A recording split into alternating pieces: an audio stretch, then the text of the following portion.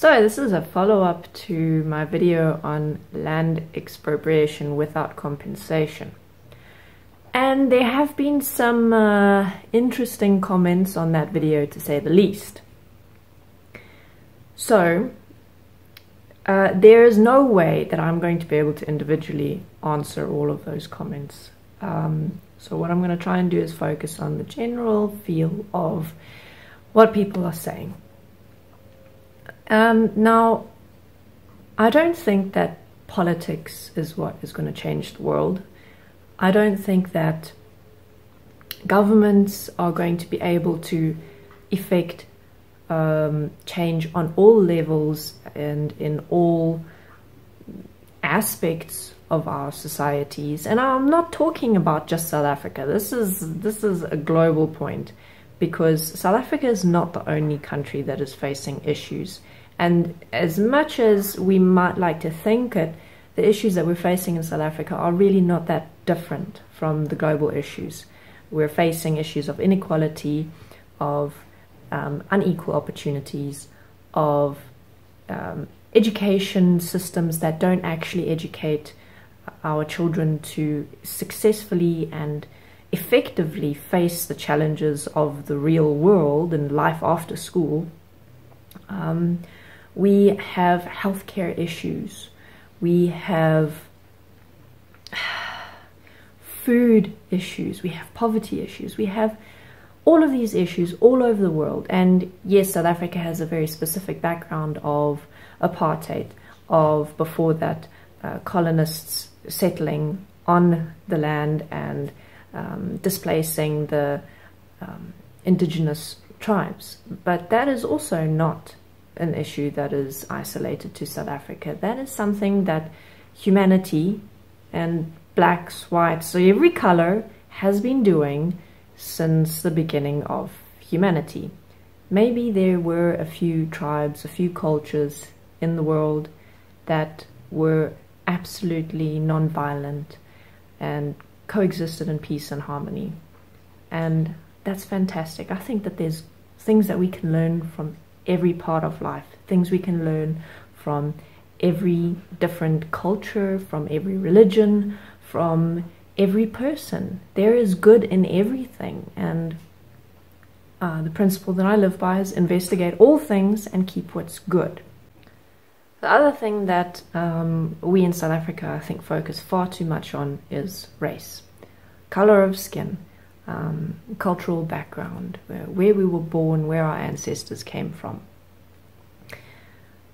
We are all people. We are all equal in that we are expressions of life. Um, the only differences that exist between us are the differences that we create and the differences that we perceive. So when we start talking about issues that have to do with skin color, we are actually creating division. We are creating separation. We are creating conflict amongst each other when we should be creating solutions, creating harmony, creating balance, because we are all here together on this planet none of us had any choice whether we uh, would be here. None of us had any choice of where we would be born, uh, which parents we would be born to, uh, what country we would be born into, uh, what religion our parents taught us, what school we were sent to. We are here, and nothing is going to change that. We are all here together. And yes, things have been done in the past that are absolutely unacceptable, things that should never be repeated. But these things are being done here and now as well, not only in South Africa, but in other countries in the world. And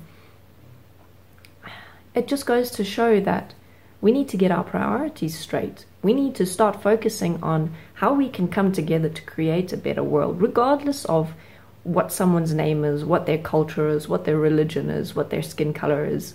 Those things shouldn't matter because what matters is, is that we are here. We are humans. We are all deserving of respect. We are all deserving of equality. Uh, we are all deserving of of equal opportunities. We are we all deserve the basic necessities that we require to live, clean water, healthy food, a safe home, good education that actually prepares us to become effective and and valuable members of society where we can contribute to the world around us and help it make make it a better place. These are all things that we could be focusing on rather than on blaming each other for all the things that were done wrong in the past. If we keep playing that game then all we're going to do is create more of the same more of the same inequality more of the same poverty, more of the same injustice, more of the same hatred and anger. We are creating whatever it is that we are putting out into the world in our thoughts, words, and deeds. We are the creators of the world. We cannot keep blaming our ancestors for where we are now. We have the choice now to create a world that is better than what our ancestors did. We have the choice to rise above their actions because we know that what was done in the past and what's being done now across the world in different places to different degrees is unacceptable and should not be happening. It should never have happened, but it did happen. It is happening. We need to change that. And the only way that we're going to change that is by being different, by rising above the petty divisiveness that we partake in. So, back to the issue. As I said in the original video, I am not against land redistribution. I am not against the redistribution of wealth.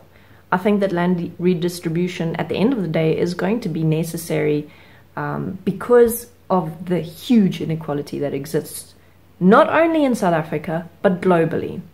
Um, as I said in the original video, I think that the people who want to be farmers should be allowed to explore that life for themselves. The people who want to live in a city should be allowed to have that opportunity and that option, regardless of their economic status. I think that people who want to live in the suburbs and that kind of setup should have the option to do so. I think that no one should live in a shack. No one should be homeless.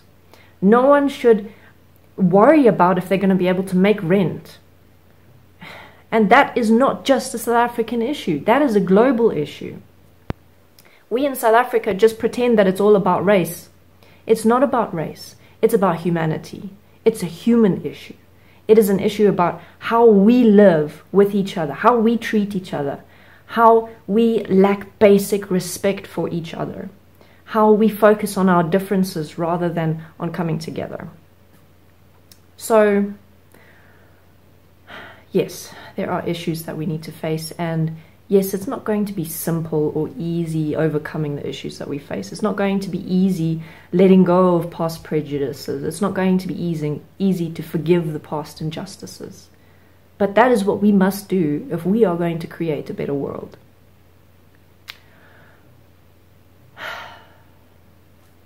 Okay.